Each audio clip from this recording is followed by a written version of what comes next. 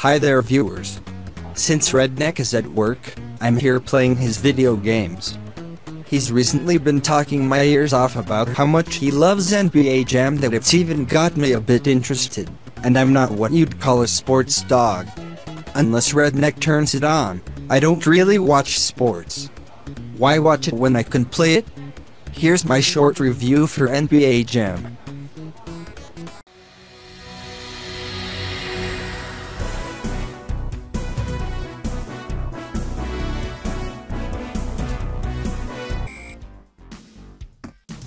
I'm playing one of the console versions instead of the original arcade NBA Jam simply because Redneck hasn't set up an arcade emulator yet.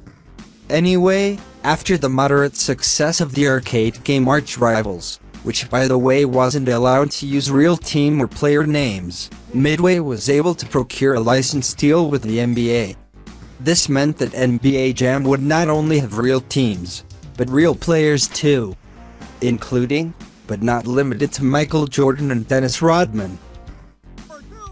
It may not be such a big deal by today's standards, but back in the early 90s, having real players and teams was a rather new concept for sports games.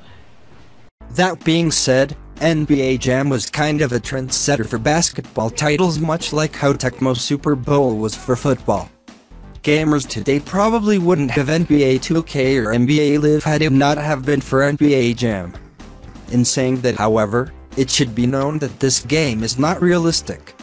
For one, the matches between teams are 2 on 2 instead of the usual 5 on 5. There are also no penalties for fouling your opponent or vice versa. Anything goes in NBA Jam. You can even have your players do superpower shit, such as jumping impossibly high and having the ball catch on fire. This is one of the key things that make this game so great. When it comes to sports video games, I prefer mine to be more imaginative. I have nothing against realistic sports games, but I'm of the opinion that in order to play them, you require a good understanding of the sport. That's probably why Redneck is actually fairly decent at a few realistic sports games. Anyway, like Kirby's Dream Land, NBA Jam can virtually be played by everyone. The big reason for that has to do with the control scheme. I'm playing the Sega CD version, but the controls are practically the same across the board with every other release. The A button shoots the ball and blocks, the B button is your turbo, and the C button is for passing and stealing. These simple controls make this an easy game to pick and play. Also as a bonus, you can customize the controls to your liking. You watchers know as well as I, controls can make or break a game. Case in point, at least for me, the original Dead Rising. Redneck likes it, but I never could get into it because of its wonky controls. The difficulty of NBA Jam is yet another thing that makes it practically for anyone. The difficulty of this game is very balanced. It has the really easy setting for beginners. In that setting, the AI mostly wanders around the court and provides little problem for you but enough of a challenge to keep you busy. There's also the insanely high difficulty mode. I only recommend that mode to players who are gaming gods with skills beyond that of a normal gamer, because the game will royally kick your ass otherwise. With as much kudos as I am giving NBA Jam, it's not perfect. It almost is, but it has a few negative aspects. For instance, there's not that much music in the game. There are a few and they're good, but I would have liked if there were more. Another nagging issue NBA Jam has is that the Lakers and the Bulls are a bit overpowered. I don't mean that as in those teams are difficult to play against, I mean that as in playing them makes the game a cakewalk. I probably should also mention this because Redneck would, the graphics are good but they could have been a little better. That's for every version by the way. not just the console versions. NBA Jam's crowning achievement would absolutely have to be its replay value. Neither I nor Redneck say this enough, but what really makes a game good is its replay value, and NBA Jam has that in strides.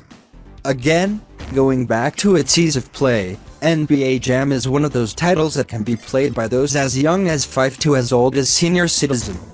It's along the same lines as say Wii Sports but older, and in my personal opinion, more fun. This is especially true if you're playing with another person. That's where the real fun begins. Occasionally, Redneck and I will play against each other for hours. I'm better than he is at NBA Jam, so I'm typically the one who wins most matches. Well, I believe I've talked enough about NBA Jam, so here are my final thoughts. While it's not my number one favorite sports game, it's totally ranked quite high in my top 10. I love NBA Jam. It's easy to play, yet it offers difficult challenges for the more experienced gamers. It has every team in the NBA, plus some of the best athletes that ever played in that organization. It may not have as much music as it should, and the Lakers and the Bulls have balance issues, but it's a solid game worth putting in your collection. In fact, if you are a collector, you can find NBA Jam on quite a few systems. There's the Genesis and Super Nintendo versions naturally, but you can also find NBA Jam on the Sega CD, 32X, Saturn, PlayStation 1, Atari Jaguar, and the PC. There's also that Arcade1Up cabinet that comes with NBA Jam sequel, NBA Hangtime. The only ports of the game that I suggest that you guys stay away from are the Game Boy and Game Gear ports.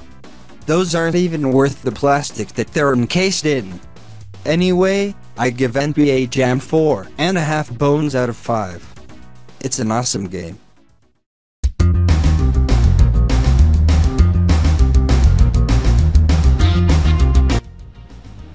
Well, fancy seeing you watchers at the end here.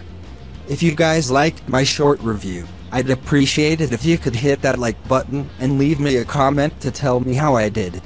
Also, if you have some more spare time, maybe check out these other videos from Rebel Railroad Productions.